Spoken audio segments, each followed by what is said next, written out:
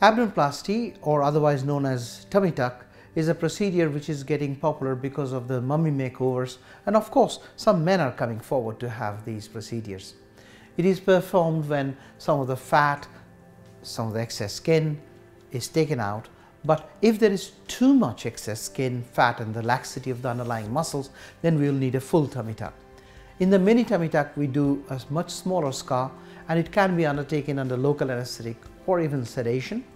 But the bigger procedures where the skin, the fat is removed and also underlying muscle and fascia is tightened, they are undertaken under sedation or general anesthesia. Each and every procedure under, uh, we undertake has complications and side effects.